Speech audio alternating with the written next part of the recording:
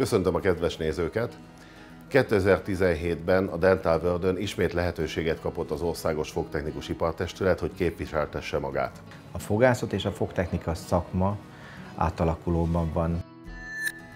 Mi lettünk a kongresszus fogtechnikai részének szervezői, ezen belül én a csütörtöki napot szervezem, ami a protetikai kongresszus. Megtiszteltetés volt számunkra, hogy a szakma ezen rend, eh, rangos rendezvényére, mint szervezők kaptunk felkérést, és hogy az egyik szakmai napot, az általunk vezetett digitális napot megszervezhettük.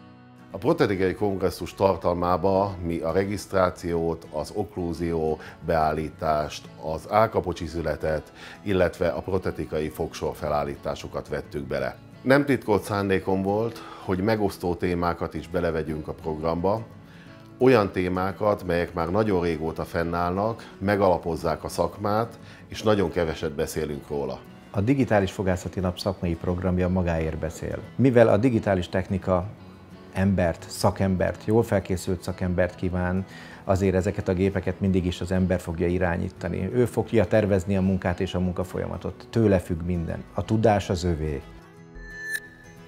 Mindenkit szeretettel várunk.